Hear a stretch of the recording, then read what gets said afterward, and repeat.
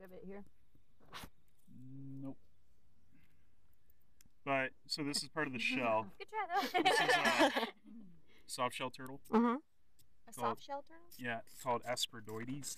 Is this the, this is the same thing we found yesterday, right? Yeah, which Aspideretes? actually, do you remember where that was over there? Because we should Um, probably pick that up. Really? We.